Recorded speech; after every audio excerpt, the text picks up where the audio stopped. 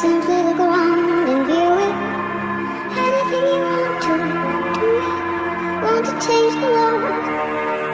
There's nothing to.